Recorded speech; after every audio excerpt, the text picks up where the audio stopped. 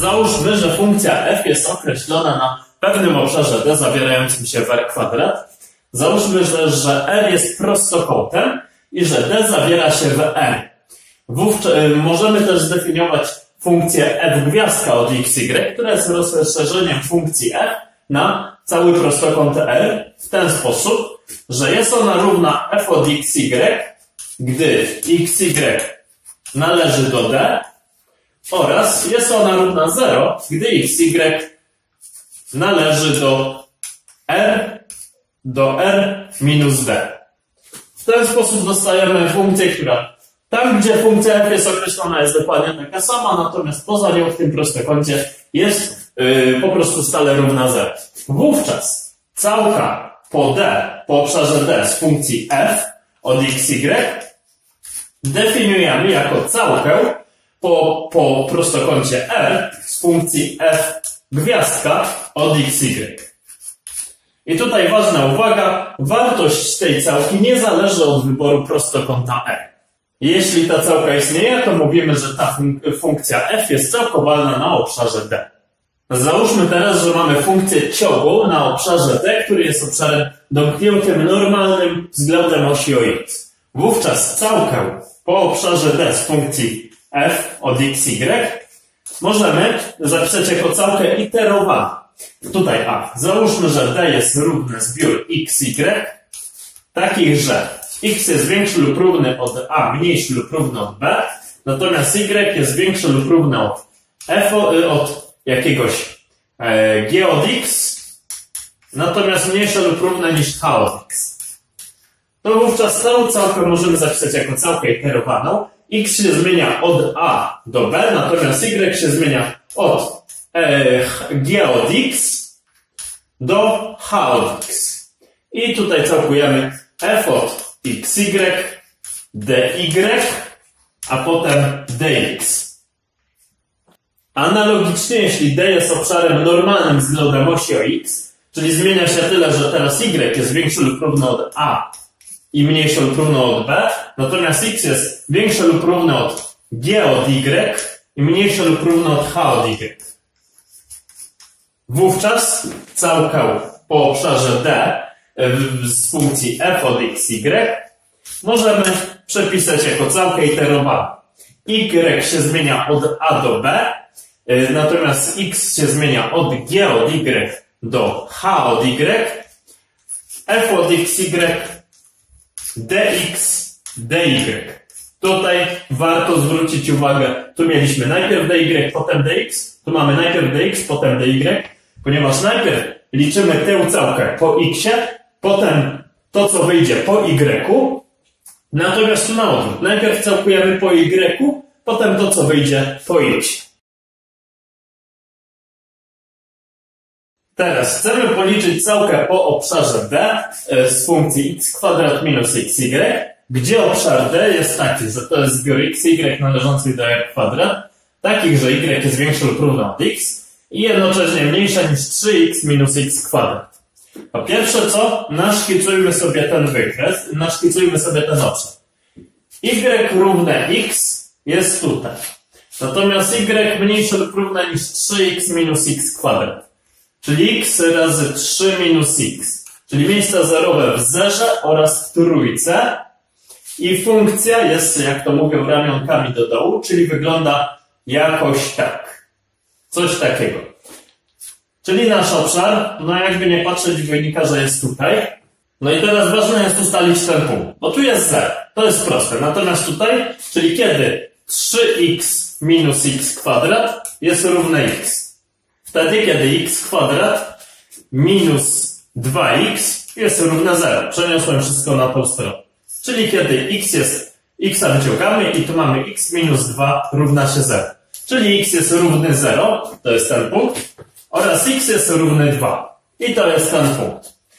Zatem mamy całkę. Nasza całka z tego obszaru możemy zapisać, że to jest całka. x się zmienia od 0 do 2.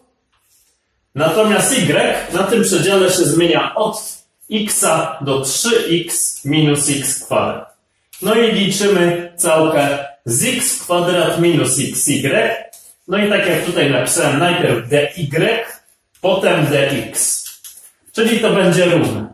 E, Całka z tego po y. Przepisujemy całka od 0 do 2.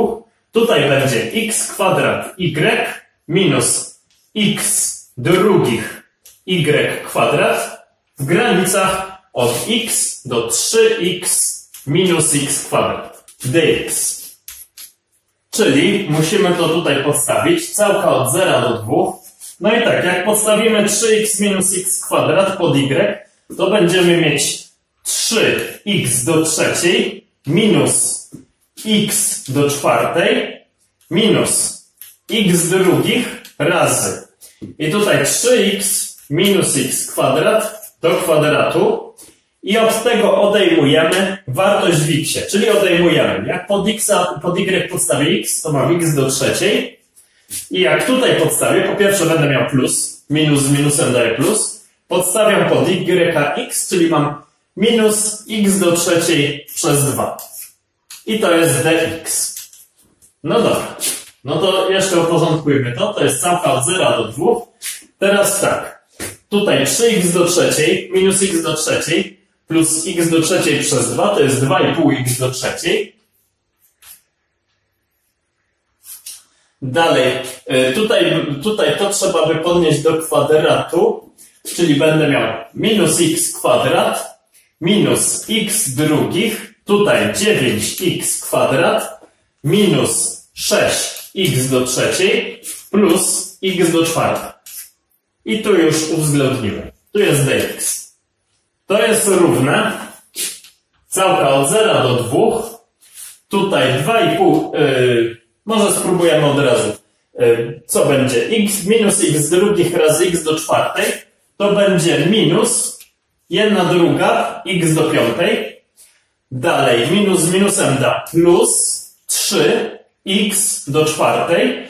Tutaj będzie minus 4,5 x do trzeciej plus 2,5, czyli minus 2x do trzeciej. No i zostaje tylko minus x kwadrat dx.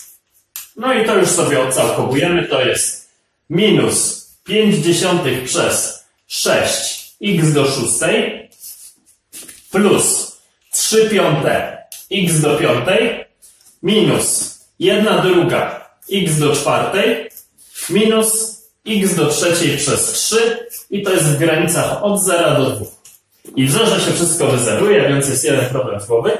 Teraz tak, mamy minus, jedna druga, czyli jedna dwunasta tak naprawdę, x do szóstej, dwa do potełki szóstej, no to to jest 64. Zresztą dwa do potełki szóstej zapiszemy, plus 3 piąte razy x do piątej, to jest 32, minus jedna druga razy 2 do czwartej i minus 8 trzecich. Czyli to mi się jeszcze trochę uprości. Tutaj przez 4 to będzie 3, a tutaj będzie 2 do 4, czyli 16. Czyli będę miał minus 16 trzecich plus tutaj będę miał 96 piątych. E, tutaj mi się uprości i wyjdzie minus 8 i tutaj minus 8 trzecich. Czyli jeszcze mam minus 8, minus 16 trzecich, minus 8 trzecich, to jest minus 24 trzecie, czyli minus 8, czyli mam minus 16 i plus 96 przez 5 to będzie 19,2, czyli 3,2. Tyle tutaj wychodzi całka z tej funkcji po tym obszarze. Dziękuję za oglądanie moich filmów. Jeśli masz jakieś pytania, uwagi, daj znać. Zapraszam też na moje inne filmy oraz do subskrybowania kanału. Pozdrawiam.